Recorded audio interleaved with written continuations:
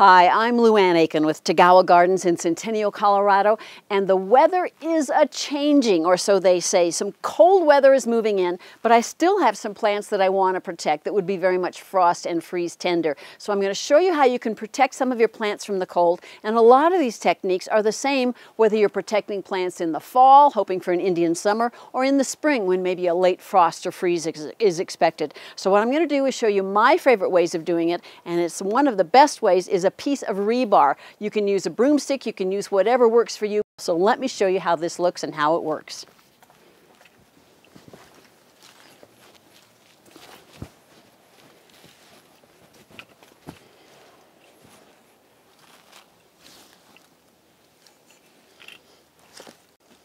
So what I've done I've taken the rebar, I use that as kind of my tent support.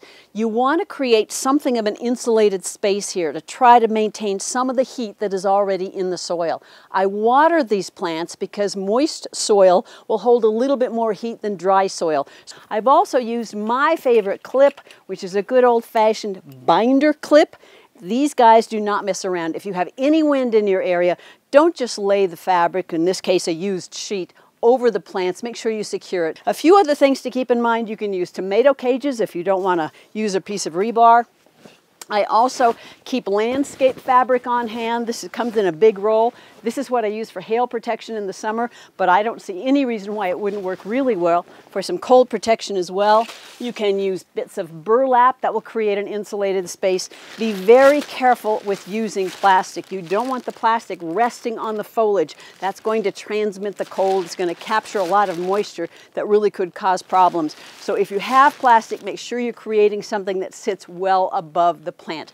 I also have some other things that we can use. There are frost blankets that will hold in anywhere from four to seven degrees. Um, we sell these and they are great protection.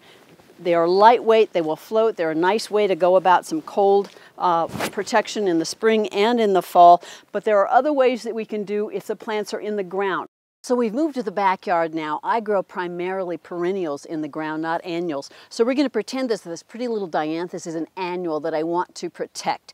Now, the ground is going to be our source of warmth when we're trying to capture some of that warmth and go into a colder period where we want to protect the plant. A couple things you can do and it's super easy. If you have an empty pot, this doesn't get any easier.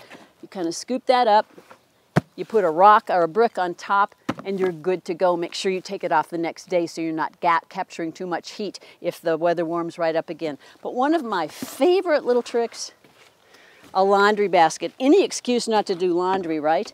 This is great because it has some air movement. If you don't want to take it off the next day, you could actually just pull the cover off. But I use this, and I could even put a little burlap around there if it was a super sensitive plant, capture a little more. Put the laundry basket on, cover it with my frost cloth, which again is going to hold a good bit of heat in. These really are quite effective.